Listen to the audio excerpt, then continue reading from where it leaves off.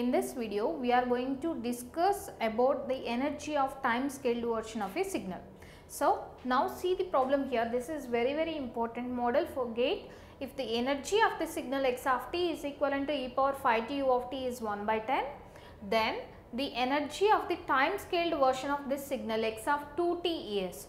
So, you know that eh, for x of t, x of 2t is the time scaled version they given the energy of x of t that means the energy uh, they given energy signal that means x of t as a energy signal and they given uh, given the corresponding energy associated with the x of t. Now we need to calculate the energy for time scaled version of x of t that is for x of 2t we need to uh, consider the energy.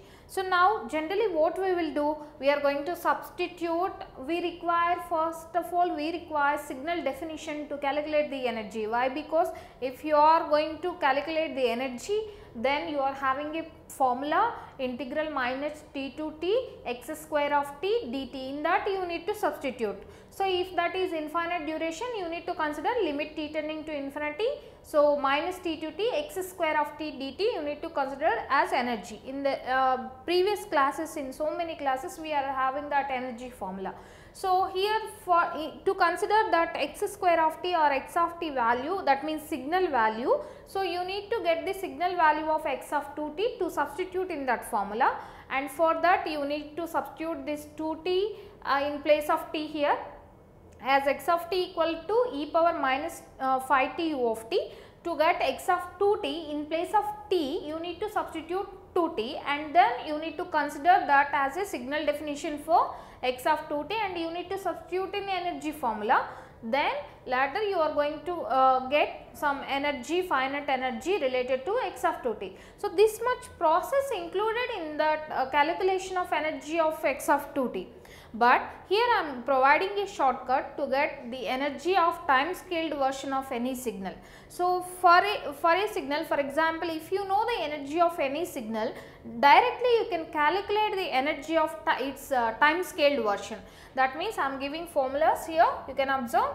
So, if energy energy of x of t is equivalent to E then then energy of energy of x of a t is equivalent to E by A.